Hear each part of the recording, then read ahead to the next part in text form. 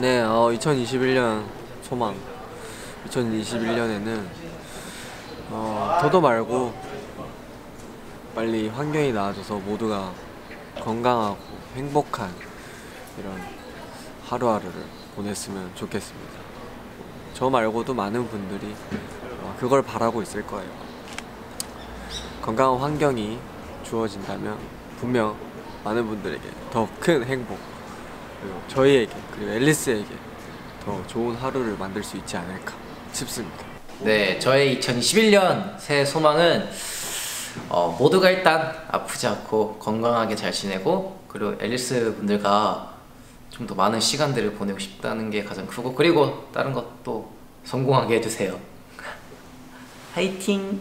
2021년에는 어, 꼭 우리 앨리스와 저희가 이렇게 좀 만나서 뭔가를 좀 했으면 좋겠습니다. 제발. 네. 콘서트도 했으면 좋겠고, 뭐 공방이 돼도 좋고, 뭐가 돼도 좋으니까 2021년에는 함께 좀 얼굴 좀 보면서 네, 좋은 추억들을 많이 만들고 싶습니다. 제발. 2020년에는 못했으니까요. 2021년 저의 소망은요. 어, 사실 2020년에 사실 꿈꾸고 이렇게 소망했던 것들을 다 이루지 못한 것 같아서 2020년도에 이루지 못했던 것들을 마저 계획을 계속해서 이뤄내고 싶고 그리고 또 제일 큰 우리 앨리스와 함께 시간을 보내면서 21년은 뭐 예전에는 뭐 사실 더 올라가겠습니다 이런 얘기를 많이 했던 것 같은데 이번에는 21년만큼은 정말 같이 행복하고 재밌게 보내는 게 저의 소망이지 않을까 싶어요. 그거면 된 것 같아요.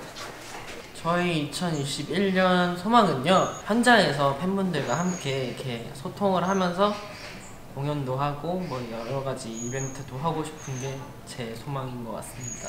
꼭 이뤄졌으면 좋겠습니다.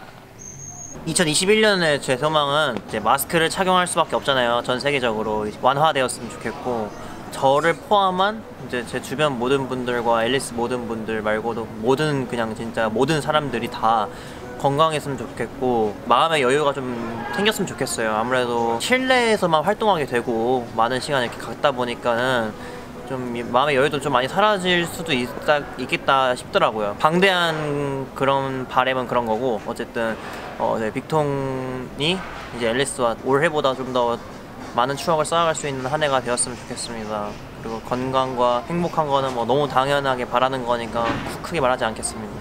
어느덧 이제 2020년이 이제 다 지나가고 이제 2021년이 이제 오는데 2021년에는 어, 우리 앨리스 여러분들이 이제 한 분도 이제 아프지 않고 항상 건강하고 그리고 2021년에도 이제 제가 또 많이 웃음도 선사하고 우리 앨리스 마음에 조금이라도 따뜻하게 힘을 줄 수 있는 그런 또 세준이가 될 테니까 어, 하시는 일에 모든 잘 풀렸으면 좋겠고 제가 열심히 기도하겠습니다.